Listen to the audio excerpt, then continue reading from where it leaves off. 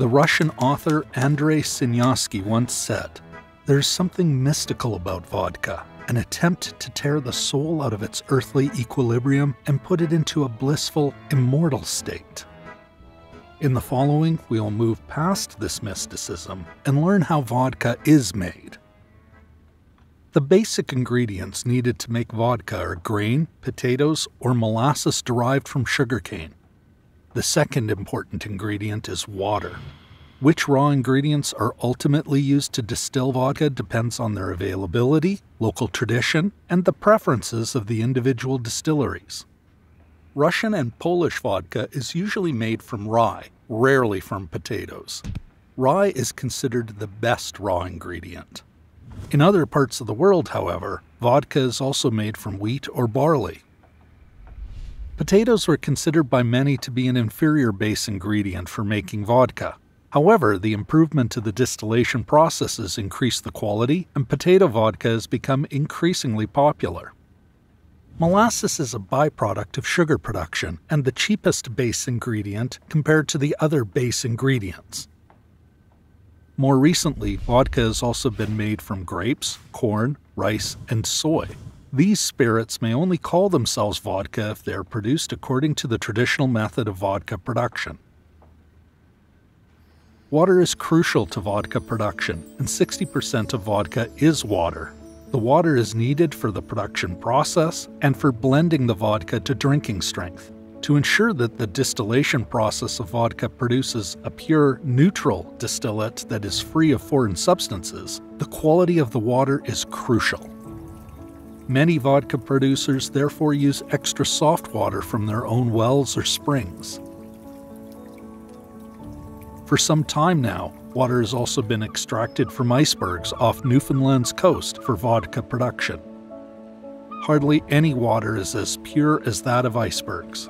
The glacier from which it comes consists of pure precipitation water that fell and then froze thousands of years ago in the Arctic Circle.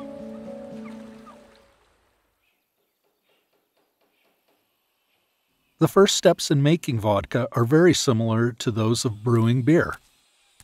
First, the raw ingredients for the vodka, no matter what kind, must be mixed with water and heated. This completely converts the starch it contains into sugar.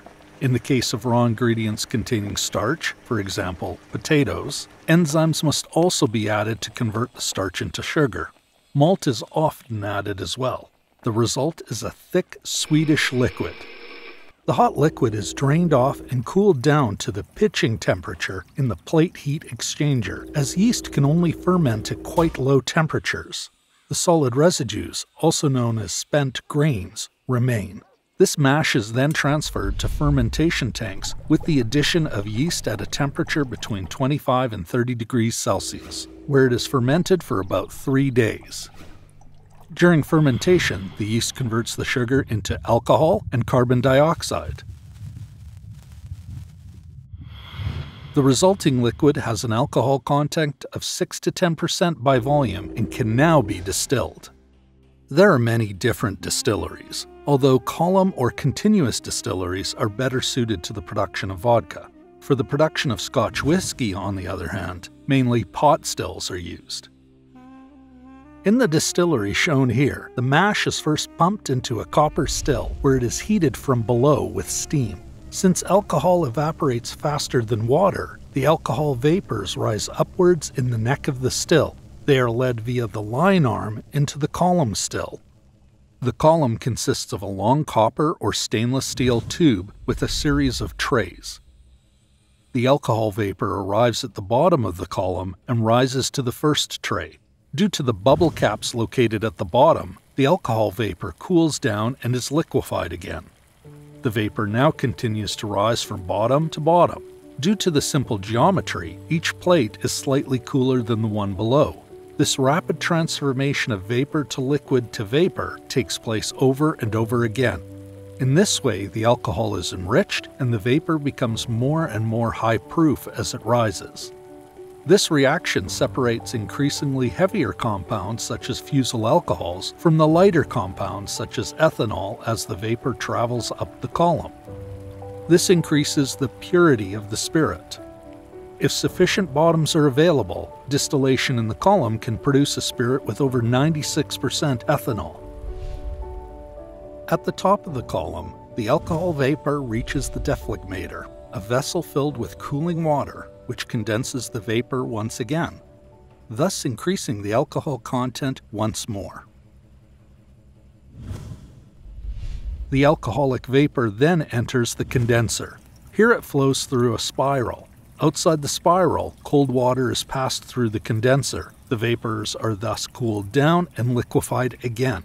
The resulting raw spirit is now distilled a second time to further increase the alcohol content. During this distillation process, the master distiller separates the resulting fine distillate into the foreshot, the middle cut or heart, and the faints. The foreshot contains residues from the previous burning process, as well as volatile toxic methanol. The middle cut or heart is collected and goes to the next step, the filtration. In the faints, fusel alcohols are extracted as they have a negative effect on the taste and can even be harmful. In the case of vodka, where the aromas must be almost completely removed, a high degree of separation is required. Therefore, vodka can be distilled up to eight times by some producers. Column stills for vodka production can consist of 40 trays in a single column or 4 to 5 interconnected columns, all designed to purify the spirit to an ever increasing degree. The final step before bottling is filtration. Here, the last unwanted aromatic substances, as well as fusel alcohols, are removed from the distillate. After all, vodka should taste as pure and clear as possible. In the past, the vodka was simply placed in the cold, foreign substances settled to the bottom, and the purified liquid was then skimmed off. Later, ceramic shards, sand, and felt were used for filtering. Today, filtering is done with charcoal or activated carbon, but also through precious metals such as platinum and gold. Depending on the preference, individual distilleries also filter through other materials. The filter system shown here consists of two stainless steel columns filled with activated carbon that are connected together. The vodka is pumped through the filters from the bottom to the top. This method achieves a very high degree of purity, The finest remaining suspended matter is finally removed in a final filtering process using a layer filter. In this process, the vodka is pressed sideways through a tube into the individual closely fitting cellulose layers.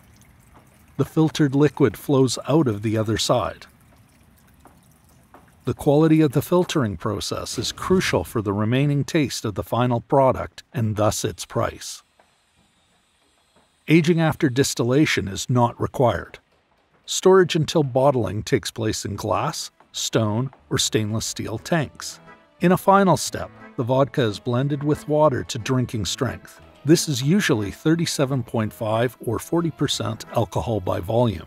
Traditionally, vodka has had 40% alcohol by volume, which was introduced by the Russian government in 1843 Modern brands, however, vary between 37.5% and 56% alcohol by volume. In addition to pure or neat vodkas, flavored vodkas are now produced by mixing the distillate or pure vodka with fruits, spices, extracts, or essences, or adding flavoring oils. I hope you're able to better understand the vodka production process with the help of this animation.